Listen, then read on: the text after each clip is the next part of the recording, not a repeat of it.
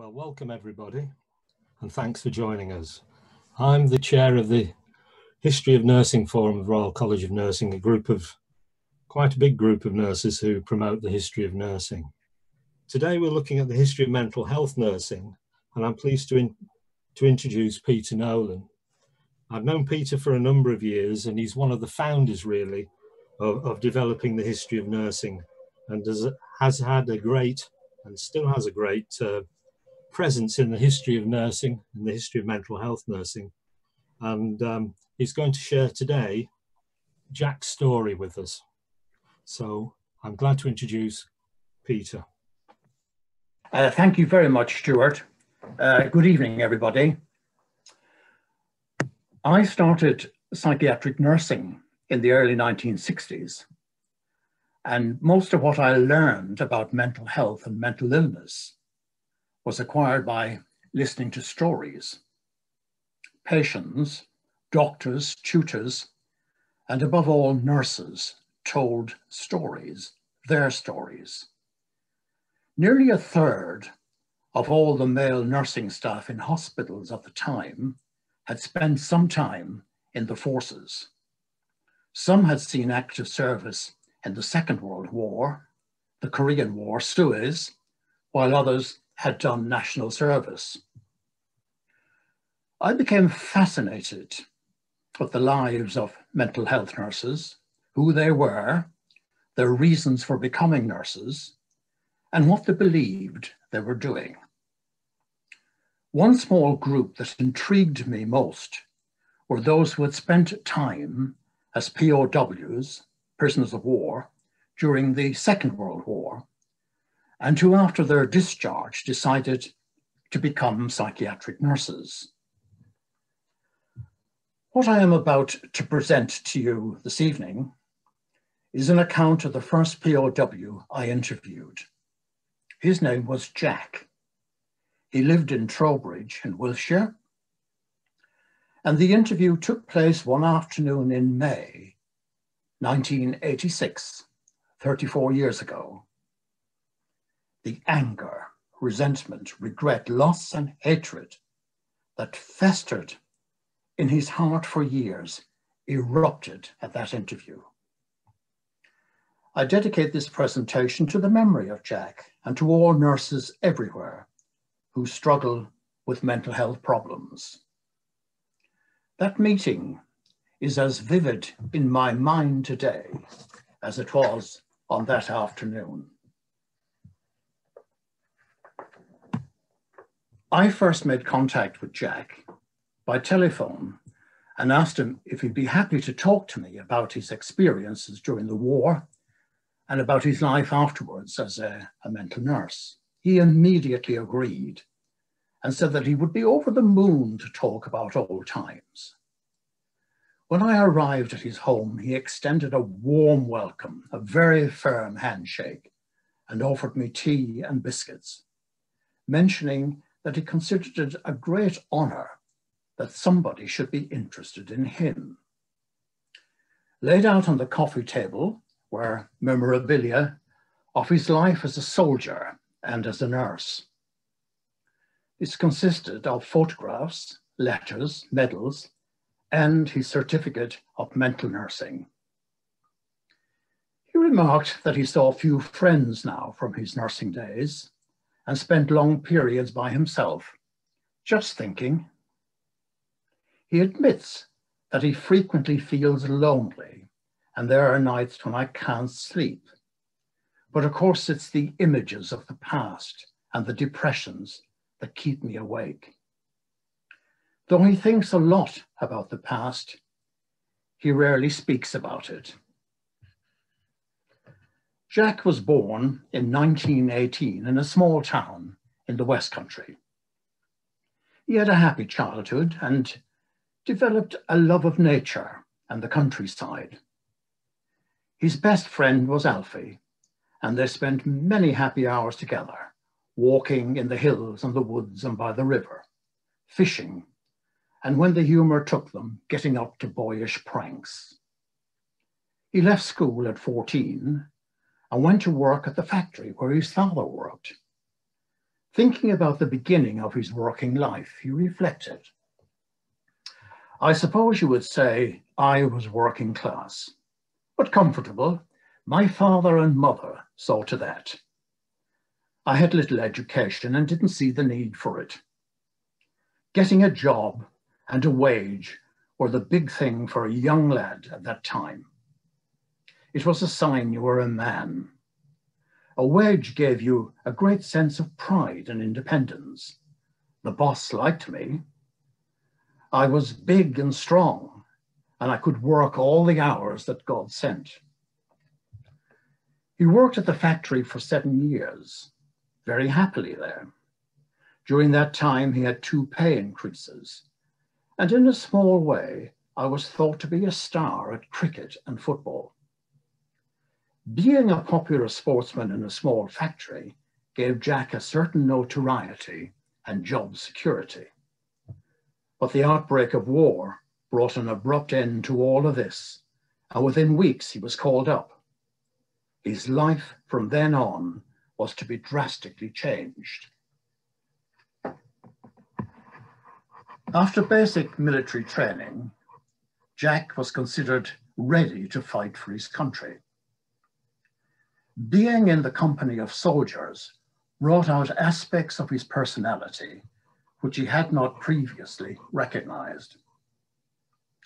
He was inspired about defending his country and eagerly looked forward to the time when he could display his courage, his strength, and his masculinity.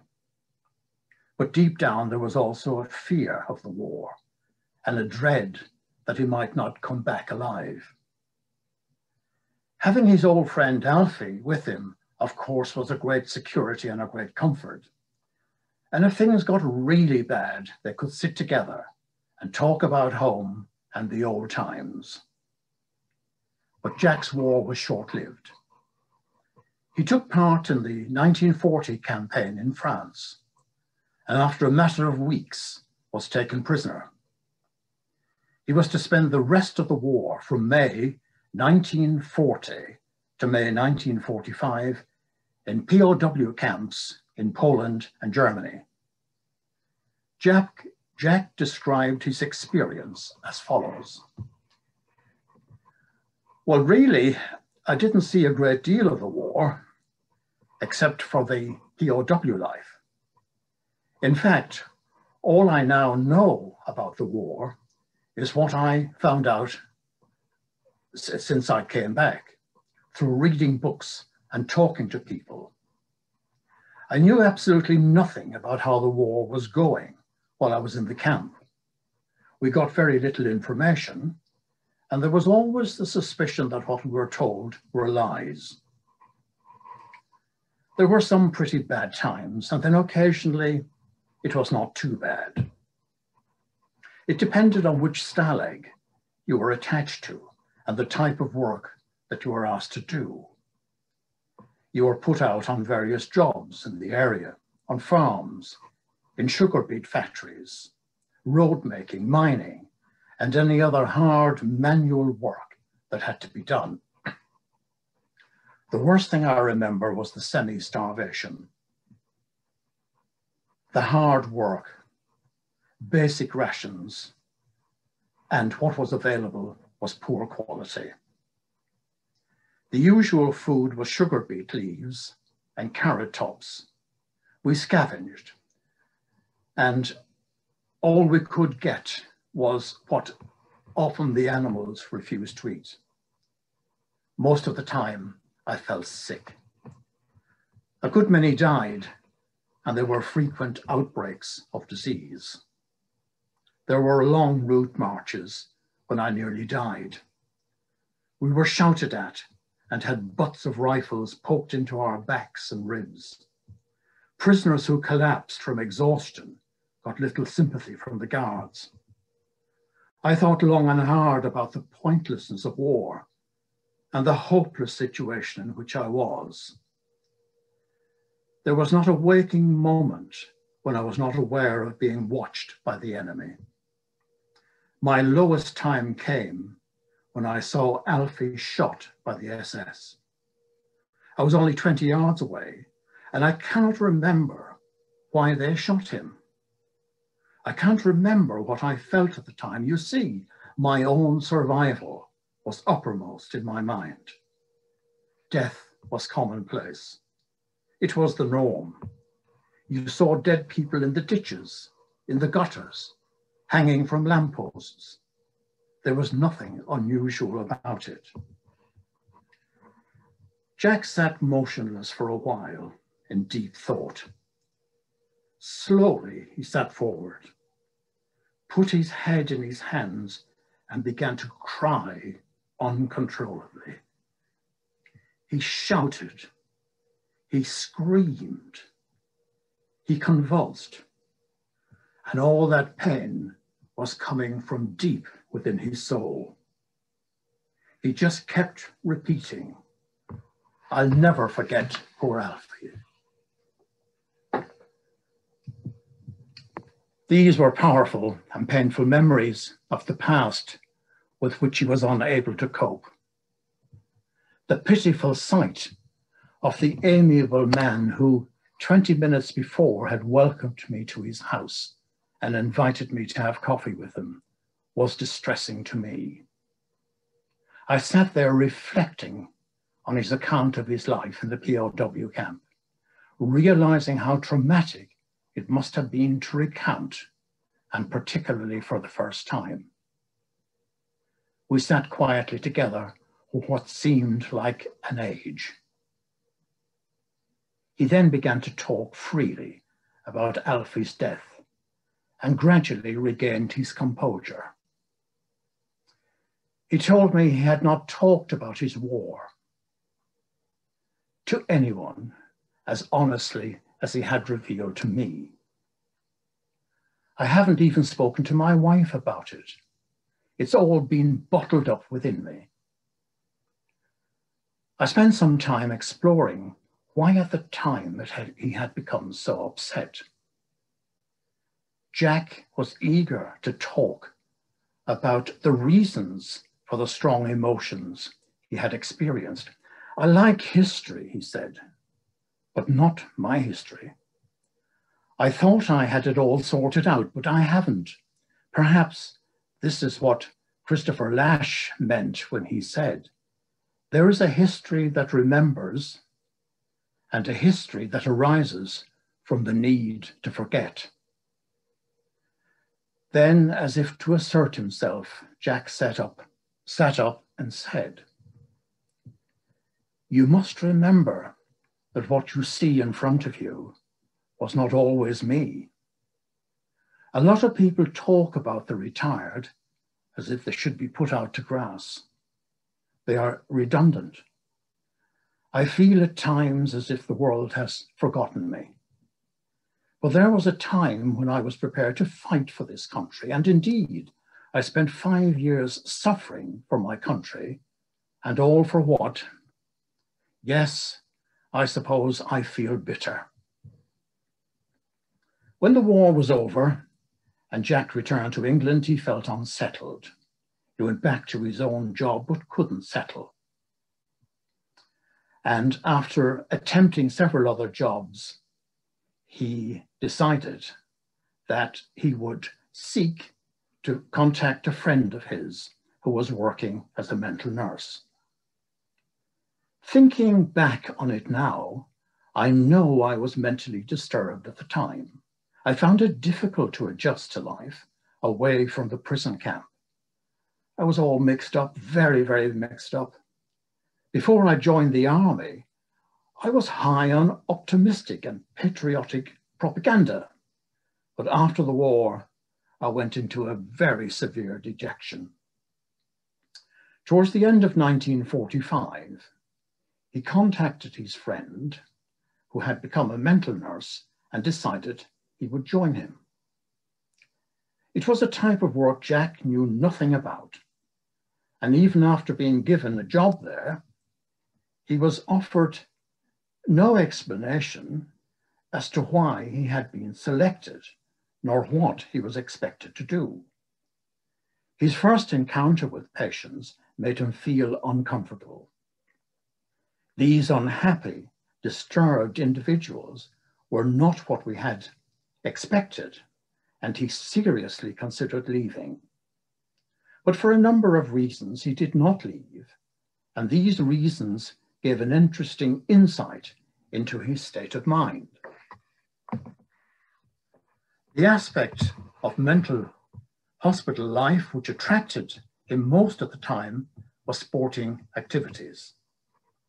Football and cricket were the preferred sports, and within a short space of time, Jack was representing the hospital at both sports. Once again, his prowess was recognized. The superintendent of the hospital had a special regard for sportsmen. They had time off to practice, as well as having virtually every Saturday off. Jack was in no doubt why sportsmen were given such privileges. Sportsmen, he felt, were fit and healthy and good workers. They appreciated the facilities provided in the hospital, which were far superior to facilities even at professional football clubs. When he played away, of course, the superintendent always traveled with us, and we were always aware that we were representing the hospital. Being regarded as a good team member, which we were, gave an enormous sense of pride to the superintendent. When we played at the hospital, either at cricket or football, hundreds of patients, male and female, would turn out to cheer us on. Having good sportsmen to watch provided a certain amount of enjoyment for the patients. During my early years in nursing, sport became my life. The actual job itself was second. Jack played some sport every day, and an added perk was that he could choose whichever ward he wanted to work on. Mental nursing for Jack had much in common with service life. It was regulated and provided a sheltered existence with most of my needs taken care of. One had to do little thinking for oneself, and there was plenty of company always available, particularly ex-servicemen. In fact, Jack admitted, there were times when I thought I was still in the army. I must admit, there were times when it was all that I'd hoped army life would be. I felt very proud of my uniform and it meant a great deal to me when the superintendent used to remark how smart I looked. Jack had not thought about undertaking training, but when he realized that he should, he entered into it with all he was worth. He thoroughly enjoyed attending lectures by doctors and found explanations for illnesses fascinating. He was, in his own admission, not very bright, but he recognized this as an opportunity to make something of myself. So life was a mixture of sport and learning. And for the first time since the war, Jack was beginning to feel settled. But it was not plain sailing from then on. The purpose of training, as far as he was concerned, was to get a pay increase. He got a qualification, and once he got his qualification, he was somewhat disappointed. Get your exam and just forget about it, was what the others told him. My years as a staff nurse were very dull years. We spent long hours washing and dusting, polishing the floors and bed making. We were domestics, really. On the refractory wards, we did little actual nursing. We went about with a bunch of keys, opening and locking doors. We were warders, really. One of Jack's lasting memories from his early days in a mental hospital was the amount of violence he witnessed. Some nurses were of the opinion that all the patients were in a conspiracy to make life as difficult as possible for the staff.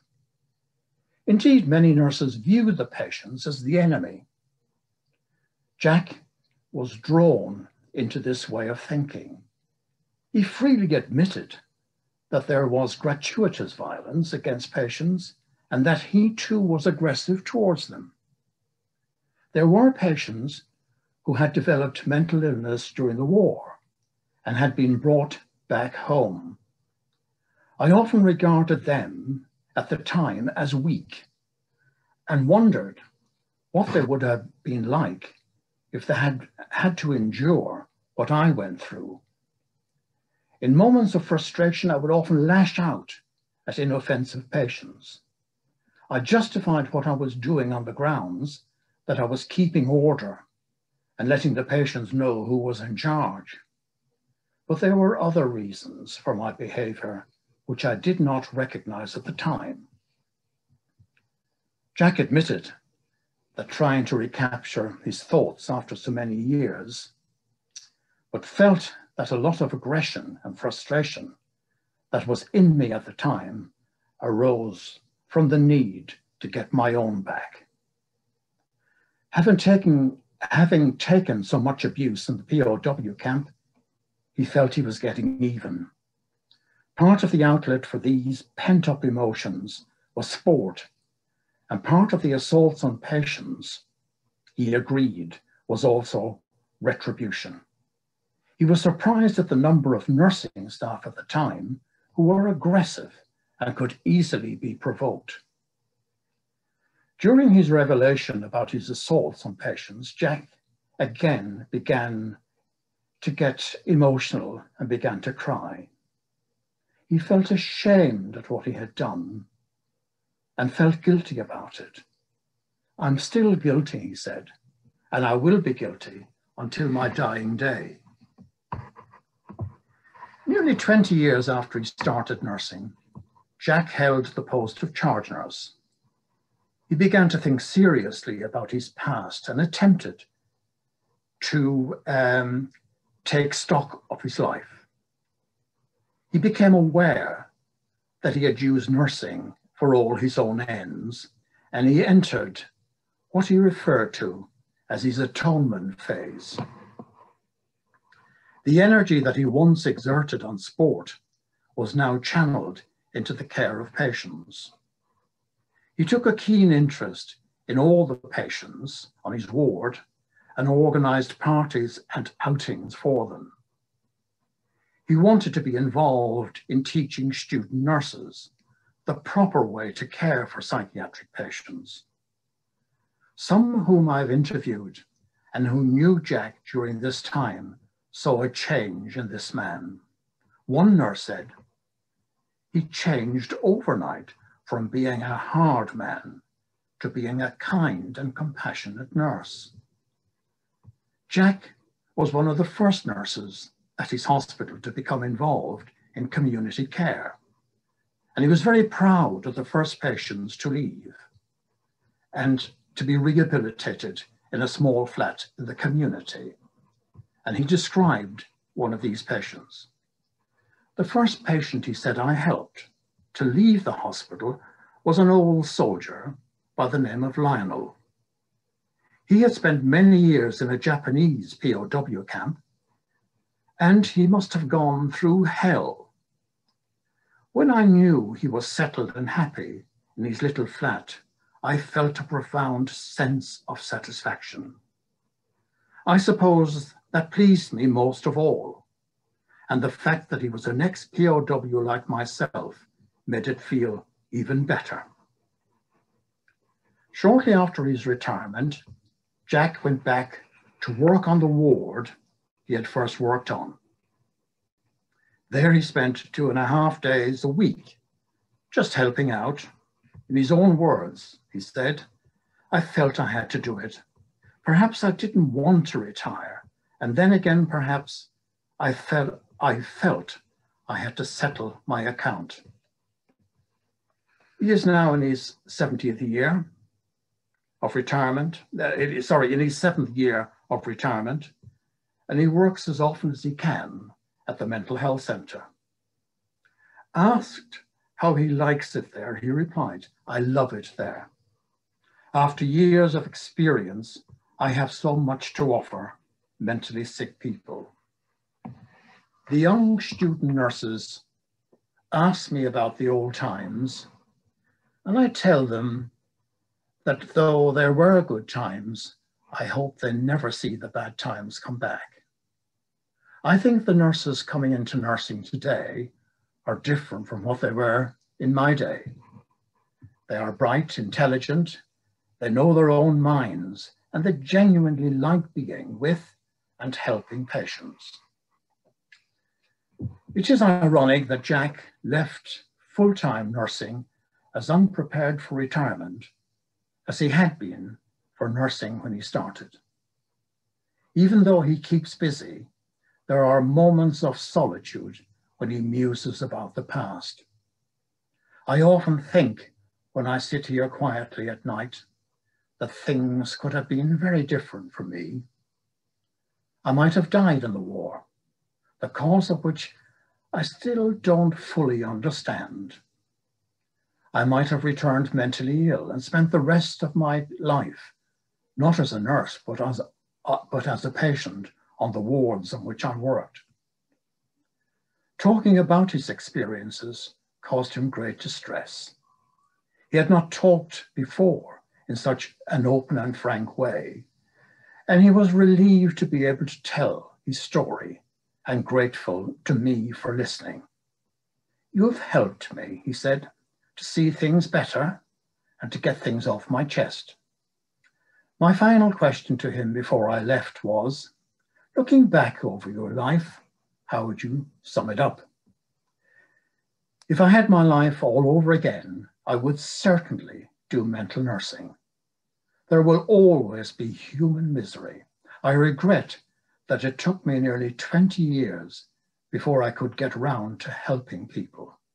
Even now, I feel I am a psychiatric nurse and I will carry on doing work at the mental health centre as long as I am able to. Thank you very much for listening.